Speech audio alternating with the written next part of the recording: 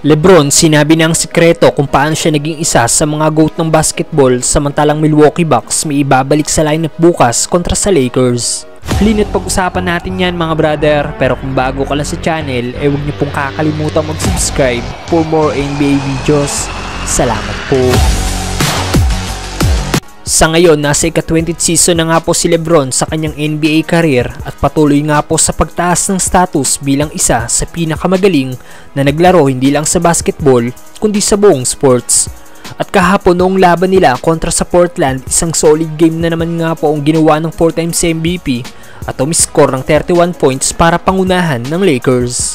At sa post-game interview ni Lebron, ibinunyag nga po nito ang kanyang sikreto kung paano siya naging isa sa GOAT ng basketball Tugon ni LBJ ay dahil daw ito sa pag-evolve ng kanyang laro at hindi pagre-rely sa athleticism na meron siya dahil una pa lang daw ay alam niya na para maging isa siya sa GOAT ay kailangan niyang pausbungin pa ang kanyang laro.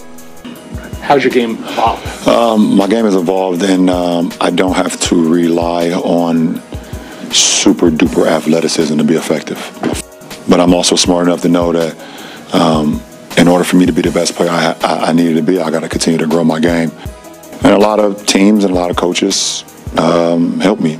At alam niya daw na pag nagawa niya ito, ay sigurado magtatagal daw siya sa liga. Maraming NBA coaches din daw ang tumulong sa kanya nandyan sina Greg Popovich na solid pick and roll ang itinuro sa kanya. Dwayne Cassie sa solid defense at si Rick Carlisle na malaki din daw ang naitulong sa kanya. At marami pa daw na ibang coach. Alam din daw ni The King na para maging isa siya sa GOAT ay kailangan wala siyang kahinaan. Um, because I knew that in order for me to be the best player I can be and one of the greatest of all time, I could not have no weakness. Matalino talaga si Lebron mga brother.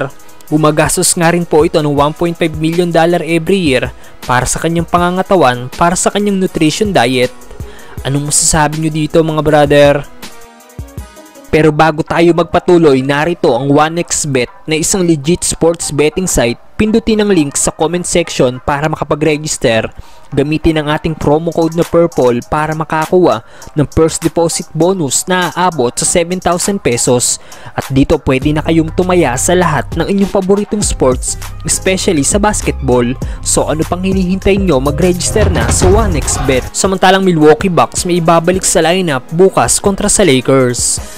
Magandang pagkakataon nga po ito para sa Lakers para mapatunayan na malakas ang team dahil bukas makakalaban nila ang isa sa malakas na team ngayon sa NBA at ang number 2 sa East na Milwaukee Bucks na nasa momentum nga po ngayon ng Bucks dahil sila ay may 3 winning streak. Advantage pa na sa home court nila gaganapin ang nasabing laban. Ang matindi pa dito magbabalik lineup na nga po bukas ang isa sa star player ng team na si Chris Middleton matapos na magka-wrist injury kaya talagang masusubukan ng Lakers dito. Listed as probable nga po si Lebron at Davis, ganun din ang outlast game na si Troy Brown Jr. Samantalang questionable pa rin si Lonnie Walker at Dennis Schroeder dahil naman sa personal na dahilan. Tingin nyo mga brother, magawa kayang talunin ng Lakers ang Milwaukee Bucks bukas. Dito na po natatapos sa ating video mga brother. Huwag niyo pong kakalimutan mag-subscribe for more NBA videos. Salamat po.